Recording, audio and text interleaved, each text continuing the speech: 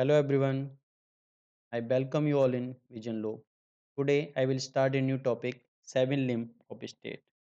तो हम यहाँ पर देखेंगे सप्तांग थ्योरी की बात करते हैं सेवन लॉ स्टेट जो हमारे राज्य था जो राज्य है स्टेट है उसके सात अंग क्या क्या रहे हैं तो इसमें हम देखते हैं जो एंशियंट इंडिया है उसमें जो हमारे ये सात अंग बताए गए हैं स्टेट के वो दो व्यू में देखेंगे कौटल्य के अकॉर्डिंग और मनुस्मृति के अकॉर्डिंग क्या क्या बताए गए हैं तो सप्त जो सप्तांग बताए गए हैं ठीक है? तो उनके ऊपर देखेंगे क्या क्या सेवन एलिमेंट रहे हैं, जिनके ऊपर पूरा स्टेट डिपेंड करता है, राज्य जो चलता है इन सात चीज़ों की वजह से चलता है, ठीक है? तो कौटिल्य के अकॉर्डिंग क्या आता है? स्वामी, फ़र्स्ट हमारा आता है राजा, जो रूलर था। अगले आते हैं अमात्य अमात्य और मिनिस्टर वगैरह सब कुछ इसके अंदर आ जाते हैं। अगला हम देखते हैं जनपद मतलब जो लोग हैं, जो लोग रहते हैं, उन सब की बात करता है, दुर्ग फोर्टिफाइड कैपिटल। वो उसकी कंपलसरी बताइए कि आपके दुर्ग जितने ज़्यादा मज़बूत होंगे, उतने आप सिक्योर रहोगे। कोस जो पैसा है, जो ट्रेजरी है मतलब जो रेवेन्यू कलेक्ट करते हो रेवेन्यू कलेक्शन का क्या आपका प्रोसीजर होगा? डंडा, जैसे आर्मी बोला गया है कि आपके पास कितनी स्ट्रेंथ है आर्मी की? अगली चीज़ आती है मित्र एलाई जो हमारे फ्रेंडली नेशन वगैरह जो होते हैं, जो फ्रेंडली स्टेट वगैरह थे आसपास, उनके बारे में इसमें बात की। और इसमें भी आता है, मनुस्मृति के अकॉर्डिंग यही बताया गया है, स्वामी अमात्य, यहाँ पर जनपद पूरा लिखा गया है इन्होंने। और जो हमारा फोर्टिफाइड कैपिटल था, उसको राष्ट्र लिखा गया है। बाकी बाकी चीज़ें हमारी लगभग एक से ही आती हैं। कोसा, डंडा, मित्र जो एल वगैरह बोले गए इनके तो हम इसकी डिटेल में डिस्कस करते हैं। तो जो स्वामी था, स्वामी कौन था? जो रूलर था। तो रूलर क्या था? रूलर को बोला गया है कि जो रूलर है, वही मोनार्क है।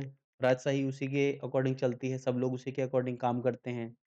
वही एक सेंटर पॉइंट है पूरे सिस्टम का, पूरे स्ट्रक्चर का, जो हमारा कंप्लीट एम्पायर खड़ा हुआ है, उसका सेंटर पॉइंट वही आता है हमारा। तो कौटिल ने बोला गया है कि मोनार्क के लिए कि Kautilya give the extensive power to monarch. जैसे बोला गया कि राज्यम राज्यम, जो कौटिल्य के अकॉर्डिंग आता है राजा राज्यम राजा ही राज्य है, किंग इज़ द किंगडम। तो जो किंग की जो पावर है, उसको बताने की कोशिश करता है यहाँ पर ये। अगला हमारा अमात्य और मिनिस्टर्स वगैरह देखते हैं। कि जो ब्यूरोक्रेसी है, ब्यूरोक्रेसी कितनी स्ट्रांग होगी? जो काउंसिल ऑफ़ मिनिस्टर उसके सपोर्टिंग स्टाफ जो पूरा होगा, वो इसका हेल्पफुल होता है, राज्य का वो भी अंग है? क्योंकि अगर आपके जो एडवाइज़र हैं, आपके जो मिनिस्टर है, अगर वही बेकार हो जाएँगे तो आपको सही एडवाइस नहीं मिल पाएगी। एडवाइस नहीं मिल पाएगी दूसरी, और उसके अलावा जो डेली वर्क है डेली रूटीन वर्क है, वो नहीं हो पाएँगे।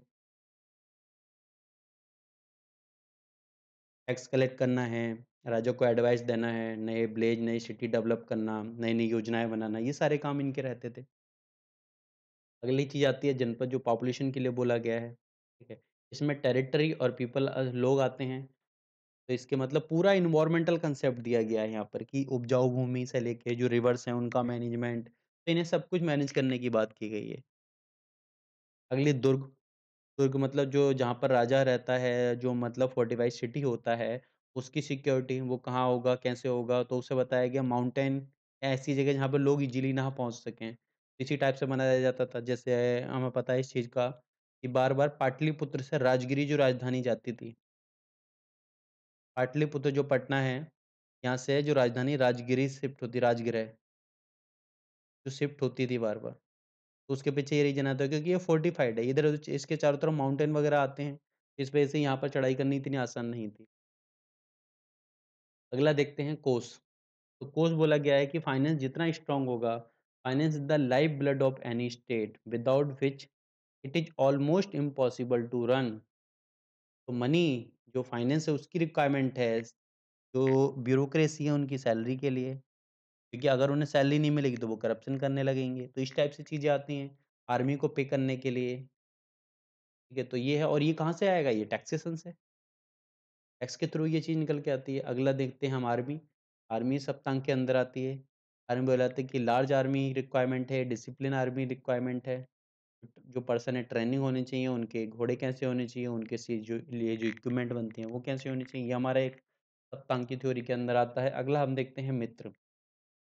मित्र में जो एलआई अगर आपका पड़ोस में आपके मित्र एलआई हैं, सही हैं तो वो ज़रूरत पड़ने पर आपकी हेल्प भी कर सकते हैं। तो उनके साथ क्या रिलेशन रखना है, इसके बारे में बात की गई है, उन्हें गिफ्ट सेंड करना, उनका गिफ्ट लेना।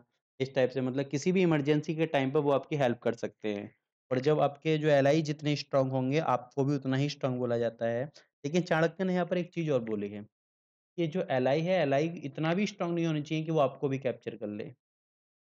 चाणक्य ने जो आस-पास के थे, उन्हें ऐसे ऊपर स्टेट तो रखा है, लेकिन उन्होंने इस टाइप से नहीं रखा है कि वो इतने ज़्यादा ताकतवर हो जाए, तो इसी उन्होंने अखंड की बात की है।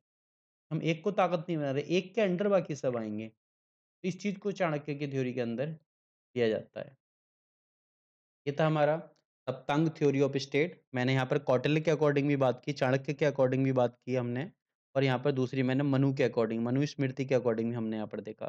कौटिल्य मनु दोनों के अंदर का देखा seven limb of state, सप्तांग theory जो हमारी आती है। Thank you, thank you everyone. अगर आपको चैनल को वीडियो पसंद आई हो तो चैनल को लाइक कीजिए। चैनल को सब्सक्राइब कीजिए और वीडियो को लाइक कीजिए। Thank you, thank you everyone.